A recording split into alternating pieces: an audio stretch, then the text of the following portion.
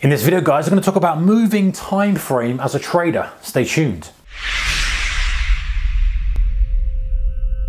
Hey guys, warm welcome to you. Thank you for joining me. I appreciate all your support. So this is similar to a podcast I did a recent podcast where I talked about are you shackling yourself to one time frame. The reason I did that and the reason I want to do a more focused video for you guys is that I've seen a few people now made the conscious decision to adjust time frame and for valid reason. So we've got to be careful that we're not chasing around like a headless chicken. Done videos on that before, talked about this before. In other words, hey, you're there, you're trading, oh, gold's not working, I'm going to trade oil. Oh, oil's not working, I'm to trade forex. Oh, it's not working, trade. Oh, scalping's not working, I'm going to day trade. And you go round and round and round and round and round and round and round, and nothing happens, and you get nowhere, and you feel like you've spent a year doing absolutely nothing. It's cost you money, you've learned nothing. That's not what we want to do. However, a conscious shift from one time frame to another, let's say you are scalping and you want to move to swing trading. I know we've missed out day trading in the middle there, but that conscious shift is based on you've stuck with this for a period of time. Okay, you've stuck with scalping and you've said, right, I'm scalping. I've not had the results I want. However, that's not what I'm using as a signal to move here. I'm using a different signal. This is the key part. I'm looking at this and I'm saying, right, I don't always have time to be in front of the screen. I feel rushed. I feel pressure to do this. I struggle with uh, trading, uh, trading uh, different position size on the fly. I struggle with those quick decisions. Okay, so to fix those, what would I need to do? Okay, I'd either have to overcome those by getting more time, being better at making decisions on the fly, doing this, doing that, or the other option is to say, okay, do I take the skills I've learned with the shorter time frame and move them to a higher time frame? So you immediately leave it at a time you don't have to be in front of the screens all the time, so that might tick that box. You immediately get rid of, not necessarily immediately, but you reduce the pressure you have to make a risk-based decision immediately, like you do with scalping, risk-based decision, make it, make it, make it, you've missed it. You know, if you haven't made the decision quick and sharp, you've missed it. And you either get better at that or you say, okay, is there a different thing to do? And moving over to swing siding thing, so you transfer those skills over. Now, this is a calculated decision. In fact, there's a couple of them now who've made a conscious decision to shift timeframes. And not necessarily such a brutal shift from scalping to swing, but maybe fewer trades, maybe making these adjustments. Um, you know, some people do make a shift and say, you know what, day trading, it, it, it doesn't fit the style of trader I want to be. I can either push and push and push, and I'm sure I'll get somewhere, or I can make a complete shift in my approach, move the skills that I've got, recalibrate, and trade a, in a different manner. And it might be that you go back the other way. You might say, you know what, swing, and I've seen this as well. Guys, people say I'm swing trading, but I'm not getting enough iterations of, of, of trades or frequency of trades to learn from. Let me add a day trading uh, uh business to, to, my trading business or side to my trading business and the swing trading and they combine them. So you, it's interchangeable.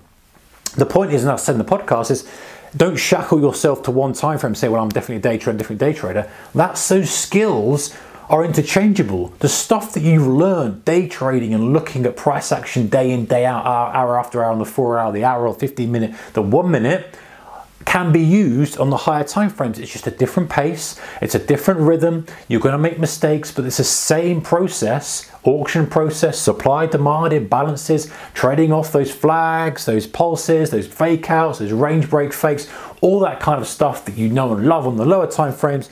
It's just slightly higher and how it fits in with your lifestyle is key because this is the thing that we have as traders, guys, and this is the challenge we have as traders. Not everybody can go, right, I'm trading full time. i have got X amount of money to put into this. I'm okay, I can do this for a couple of years and see how it goes. Some people are, and that's a great position to be in, and some people have that luxury. But most people are doing something else. They're in a job, they're maybe they're consulting, they run a business, whatever it is, and, and they need to do that, and they're kind of pushing trading up in parallel to see how that works. Now, whether it's going to, they've got an idea that's going to take over, the trading is going to take over what they do at the moment in the future, or it's just a supplementary thing. They're trying to generate wealth. They're trying to just create some uh, a decent amount of money as opposed to sticking in a in a bank or whatever it may be. The point is is that we have lifestyle commitments. We have stuff that will demand and uh, demands on us uh, from day to day life, not only from that, from family and other things. So sometimes it's just logistically very, very hard to trade the way you want. I mean, the markets open at the time they open, they close at the time they close. If, for example, you're on a school run in the morning at 8 a.m., the market's opening at 8 a.m., you can't trade the open. And that's the most lucrative time potentially for a day trader. Now, can you make it work by trading the close or can you, you probably can and you'll find a way, but is it easier to say, hey, well, why don't I swing trade stuff? Why don't I come back and I've got the time, a few hours to assess, look at how the opens behaved, and maybe you even day trade, but slightly differently. You go, okay, I want to see the opening drive, I want to assess, maybe pick a few trades, take the trades, and I look to close at the end of the day. Maybe that's the way you trade it. So you just adjust and adapt rather than get their frustration because we all get this because you're like, ah, frustrated. I wanted to try this, it was so open, something else has taken my attention. I've got to do this, I've got to do that.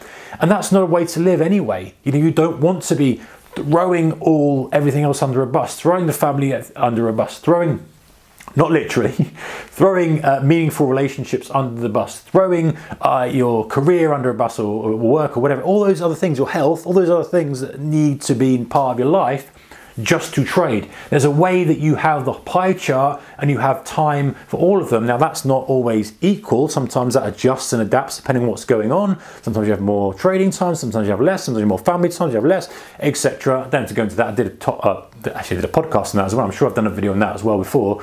Um, so let's not digress too much. But the point is, is that you match your trading with your lifestyle. You don't let it run you. And if it can't fit in, then find a way around it.